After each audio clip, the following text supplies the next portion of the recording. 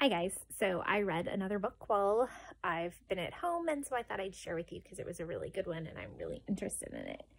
So I read Rebel Mechanics, All's Fair in Love and Revolution by Shanna Swendson.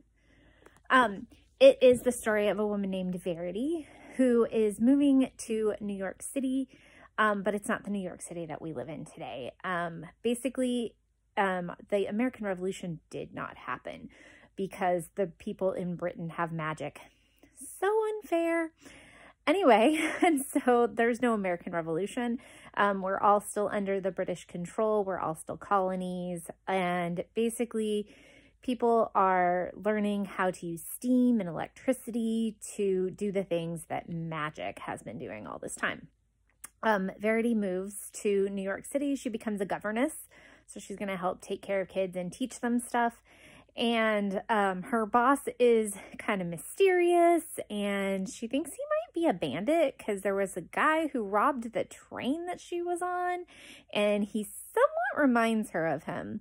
So she's trying to figure that out. Um, she runs into this group of people. They're called the mechanics. They work with, obviously, machines um, and they're inventing things, but they are not necessarily illegal, but not completely legal.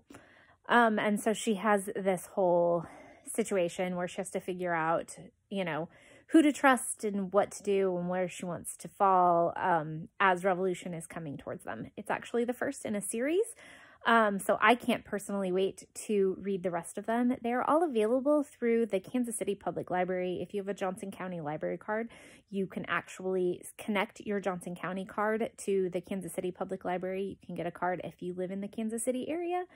Um, so if you are interested, you can do the ebooks from there. Um, I found this book really fun and I can't wait to read the next ones. So um, it has a little romance in it. It has a little intrigue in it. It has danger.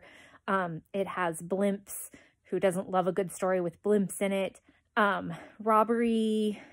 It's got a little bit of everything, I'm telling you. Um, very steampunk, very fun. So I highly recommend this book if you are looking for something fun to read. So, Rebel Mechanics by Shanna Swendson. Bye, guys.